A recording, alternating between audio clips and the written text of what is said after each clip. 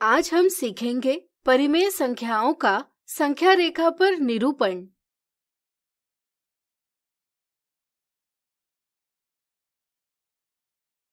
पिछली कक्षा में हमने एक संख्या रेखा यानी नंबर लाइन बनाकर इस पर पूर्णांकों को निरूपित किया।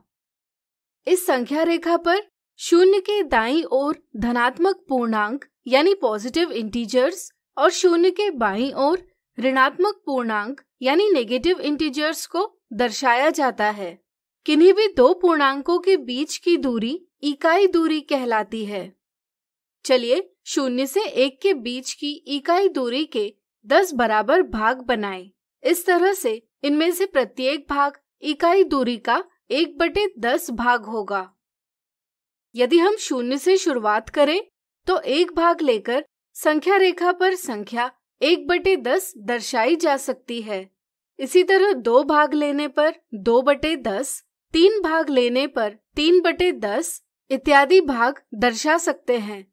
इसी तरह दस में से दस भाग लेकर एक संपूर्ण, यानी एक, दर्शा सकते हैं। अभी अभी हमने संख्या रेखा पर परिमेय संख्याओं को अंकित किया है।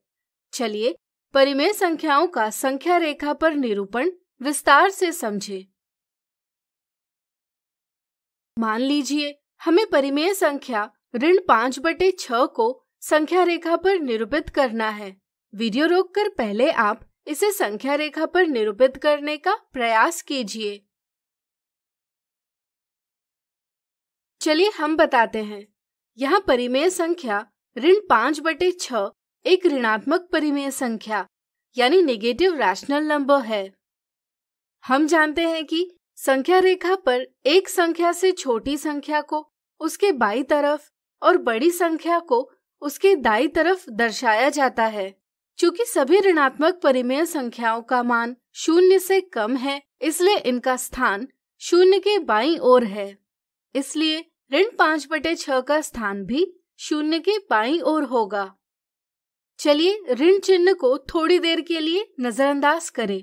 अब हम देखते हैं कि पाँच बटे छ में अंश पाँच हर छ से छोटा है।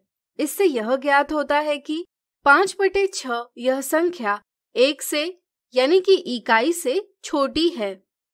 इससे हमें यह पता चलता है कि ऋण पाँच बटे छ का स्थान शून्य और ऋण एक के बीच है। ऋण पाँच बटे छ का सटीक स्थान ज्ञात करने के लिए हम शून्य से ऋण एक के बीच की दूरी को छह बराबर भागों में विभाजित करेंगे। इस तरह, इन छह भागों में से किन्हीं भी दो क्रमागत भागों के बीच दूरी होगी, एक बटे छ परिमेय संख्या ऋण पाँच बटे छ का अंश हमें बताता है कि हमें शून्य के बाई ओर एक बटे छ दूरी के पाँच भाग लेने होंगे। इससे हमें ऋण पाँच बटे छ का सटीक स्थान प्राप्त होगा। अब क्या आप पंद्रह बटे चार को संख्या रेखा पर निरूपित कर पाएँगे? वीडियो रोककर प्रयास कीजिए। चलिए हम बताते हैं। पंद्रह बटे चार एक धनात्मक परिमेय संख्या है, इसलिए यह शून्य के दाई ओर है। हम पंद्रह बटे चार को तीन और तीन बटे चार इस प्रकार लिख सकते हैं। इससे हमें पता चलता है कि यह परिमेय संख्या तीन और चार के बीच में है। सटीक स्थान ज्ञात करने के लिए हम तीन और चार के बीच की इकाई दूरी को चार बराबर भागों में विभाजित करेंगे। अब हम तीन पूर्ण और एक बटे चार दूरी के तीन भाग लेकर संख्या तीन और तीन बटे चार यानी पंद्रह बटे चार दर्शाएँगे। अब आप किसी भी परिमेय संख्या को संख्या रेखा पर निरूपित अवश्य कर पाएँगे।